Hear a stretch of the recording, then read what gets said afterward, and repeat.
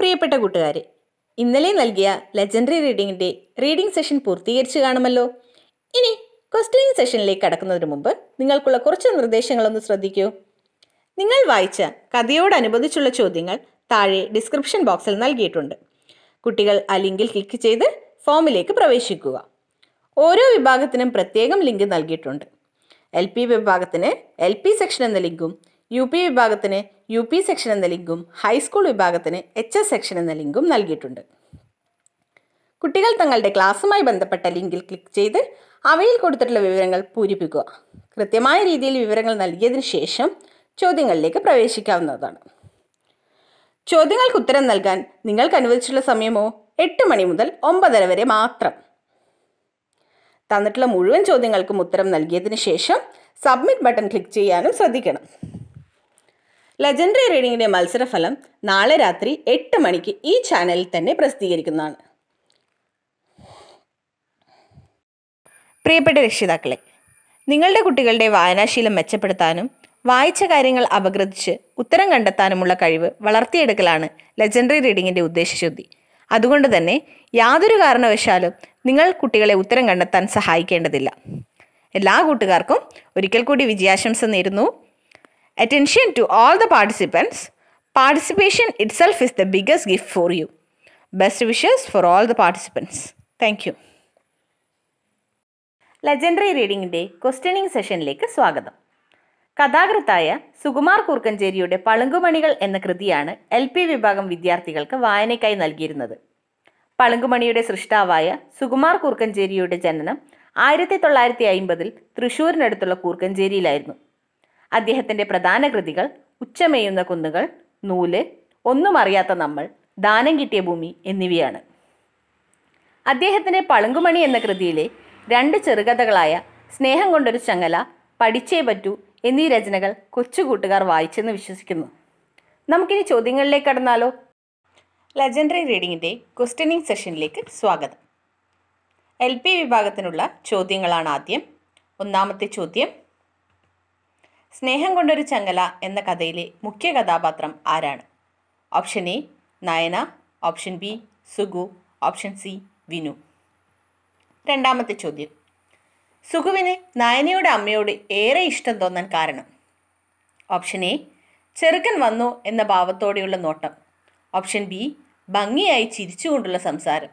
Option C സുഗുവിന് ഭക്ഷണം കൊടുക്കാനുള്ള താല്പര്യം മൂന്നാമത്തെ ചോദ്യം. ആരെ കാണാനാണ് സുഗു എന്നും ക്വാർട്ടേഴ്സിൽ എത്താറുള്ളത്? ഓപ്ഷൻ എ നയനയുടെ അമ്മയെ കാണാൻ. ഓപ്ഷൻ ബി നയനയെ കാണാൻ. ഓപ്ഷൻ സി ശ്യാമള ചേച്ചിയെ കാണാൻ. നാലാമത്തെ ചോദ്യം. ശ്യാമള ചേച്ചിയുടെ കുടുംബം താമസിക്കുന്നത് ക്വാർട്ടേഴ്സിന്റെ ഏത് നിലയിലാണ്? ഓപ്ഷൻ എ താഴത്തെ നിലയിൽ. ഓപ്ഷൻ ബി ഏറ്റവും മുകളിലത്തെ നിലയിൽ. ഓപ്ഷൻ സി ഒന്നാമത്തെ നിലയിൽ. അഞ്ചാമത്തെ ചോദ്യം. പരസ്പരം ആരുമല്ലാതിരുന്നിട്ടും സ്നേഹം കൊണ്ടൊരു ചങ്ങല തീർക്കാൻ ഇവർക്ക് സാധിച്ചു. ആരെക്കുറിച്ചാണ് ഇവിടെ ഉദ്ദേശിക്കുന്നത്? Option A Nayana comma Sugu. Option B Shyamala comma Nayana. Option C Shyamala comma Sugu. ആറാമത്തെ ചോദ്യം. പഠിച്ചേ പറ്റൂ എന്ന കൃതിയിൽ അശോകന്റെ സ്വഭാവം. ഓപ്ഷൻ എ മറ്റു കുട്ടികളെക്കാൾ നന്നായി പഠിക്കാൻ താല്പര്യം. ഓപ്ഷൻ ബി മറ്റു കുട്ടികളെക്കാൾ മികച്ച രീതിയിൽ രീതിയിൽ വസ്ത്രധാരണത്തിലുള്ള താല്പര്യം. ഓപ്ഷൻ സി മറ്റു കുട്ടികളെ അനുകരിക്കാതെയുള്ള സ്വഭാവം.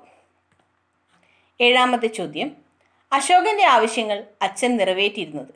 ഓപ്ഷൻ എ കയ്യിൽ പണമുണ്ടായിരുന്നതുകൊണ്ട് ഓപ്ഷൻ ബി പണം കടം വാങ്ങിച്ച്. ഓപ്ഷൻ സി അശോകന്റെ മുത്തച്ഛൻ നൽകുന്ന പണം. എട്ടാമത്തെ ചോദ്യം ഇരുപത് മാർക്കിന് വേണ്ടി അശോകൻ എത്ര രൂപയാണ് ടീച്ചർക്ക് നൽകിയത്? ഓപ്ഷൻ എ ഇരുപത്. ഓപ്ഷൻ ബി നാൽപ്പത് ഓപ്ഷൻ സി അറുപത്. ഒമ്പതാമത്തെ ചോദ്യം. പഠിച്ചേ പറ്റൂ എന്ന കഥയുടെ സാരാംശം. ഓപ്ഷൻ എ പണമുണ്ടെങ്കിൽ എന്തും നേടാം. പഠനമാണ് ജീവിത വിജയത്തിന് ഏകപ്പം വഴി. ഓപ്ഷൻ സി പഠിച്ചാൽ പണമുണ്ടാക്കാം. പത്താമത്തെ ചോദ്യം. പരീക്ഷയിൽ ആരുടെ വിജയം കണ്ടിട്ടാണ് അശോകൻ പരാതിയുമായി വീട്ടിലെത്തിയത്? Option A Rameshan. Option B Sugu. Option C Nayana. ഇതോടുകൂടി എൽ പി വിഭാഗത്തിലെ ചോദ്യങ്ങളുടെ session അവസാനിച്ചിരിക്കുകയാണ്.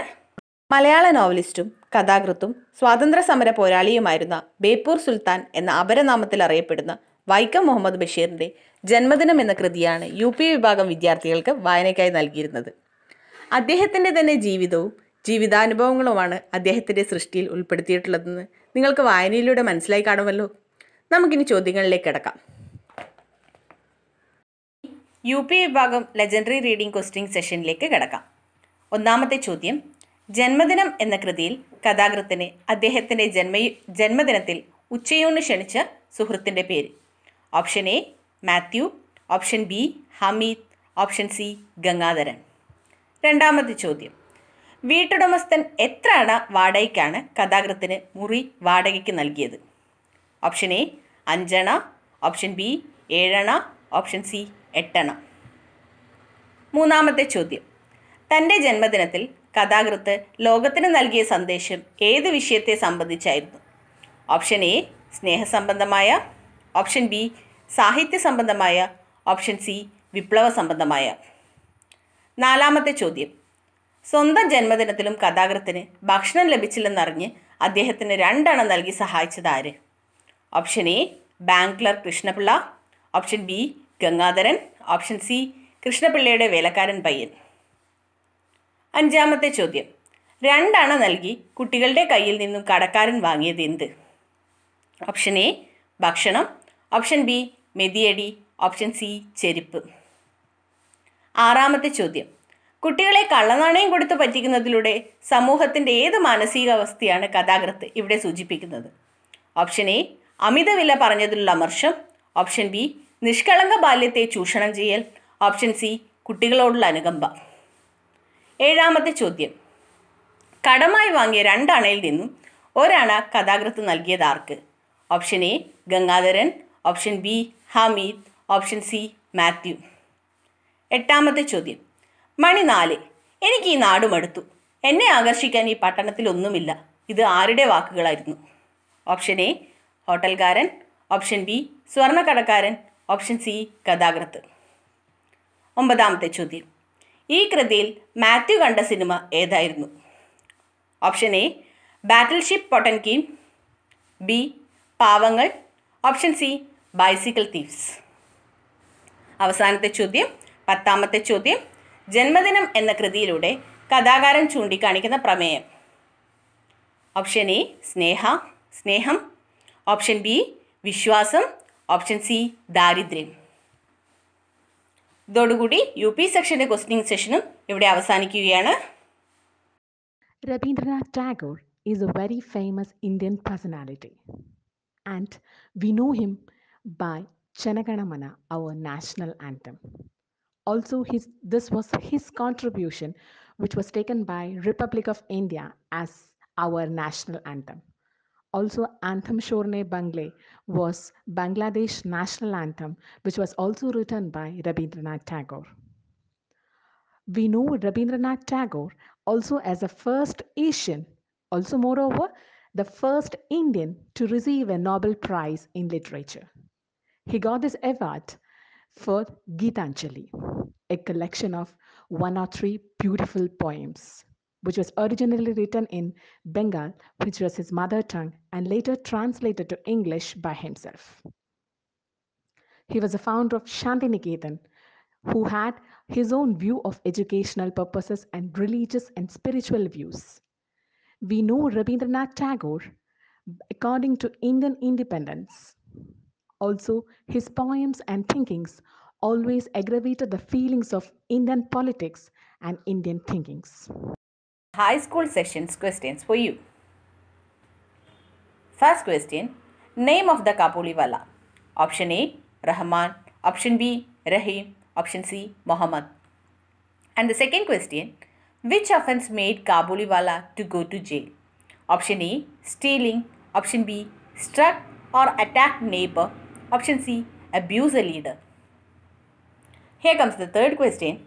On which ceremony day Kapuliwala returned to Mini's house from jail? Option A on Mini's birthday. Option B on Mini's graduation day. Option C on Mini's marriage day. Fourth question Kabuliwala opened small dirty piece of paper. What was there inside it? Option A grapes. Option B ink smeared hand impression. Option C foot impression. Fifth question What was Kabuliwala carrying in his hands when he met Minnie for the first time? Option A box of toys. Option B box of grapes. Option C box of chocolates. And the sixth question What did Kabuliwala offers to Minnie in first attempt? Option A nuts and raisins. Option B grapes. Option C chocolates. And the seventh question Oh Kabuliwala, what have you got it in your bag? What was Kabuliwala's answer to it? Option A children. Option B grapes. Option C elephant. And the eighth question What did the author give to Kabuliwala? Option A a banknote. Option B a few notes. Option C food parcel. Ninth question Which holiday was fixed for Minnie's marriage ceremony to take place? Option A Christmas holiday. Option B Deepavali holidays. Option C Puja holiday. Here comes the last question. Tenth question. What did the author tries to show in the novel Kabuliwala? Option A. The innocent love between Kabuliwala and Mini. Option B. The hatred between Kabuliwala and Mini. Option C. The cruel nature of Kabuliwala. So here ends the questioning session. കൂട്ടുകാരെ legendary റീഡിങ്ങിന്റെ സെഷനുകൾ നിങ്ങൾ ആസ്വദിച്ചെന്ന് കരുതുന്നു. Legendary റീഡിങ്ങിന്റെ reading സെഷനെക്കുറിച്ചും questioning സെഷനെക്കുറിച്ചും നിങ്ങൾക്കുള്ള അഭിപ്രായങ്ങൾ കമന്റ് ബോക്സിൽ രേഖപ്പെടുത്താൻ മറക്കല്ലേ? Next stay tuned for the drug abusement day quiz on twenty eight June related to the international drug abusement day twenty six June two thousand twenty till then bye bye